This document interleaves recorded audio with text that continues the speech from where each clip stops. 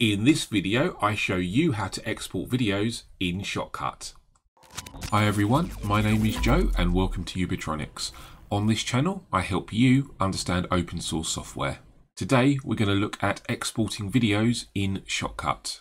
So to prepare for this demonstration, I've already got um, an example file here already set up. So all we need to do now is export it. Now, before we start, it's important to understand that the save and the export are very different things in a video editor. Save means it's going to save the timeline and all of the settings that you've set up here so you can get back to them and edit them at a later date.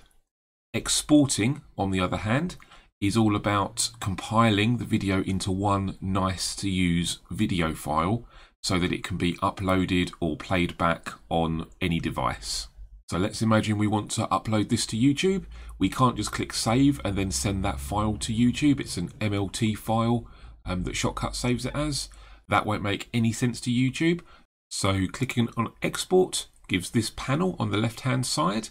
And by default, you're probably going to have um, one of these selected.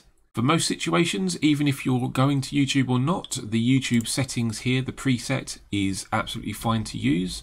What this will do is it will create your video in HD, which is, if you click onto the advanced, you see a few extra options.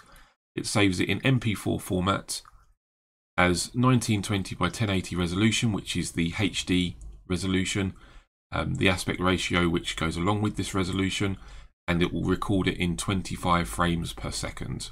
That's a fairly standard video size and setup for anyone that's unaware. So the next thing we need to do is just click on export file.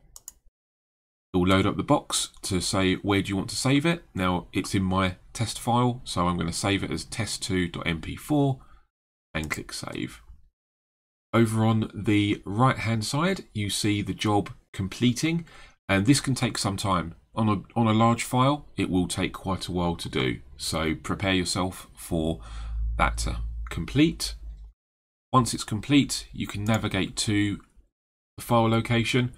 And now you see the MLT files. These are the project files. You can't upload them to YouTube or open them easily unless you've got Shotcut installed on the device. But MP4 files you can open easily on pretty much anything.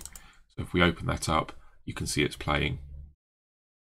I hope you found this helpful. Thank you very much for watching and I'll see you in the next video.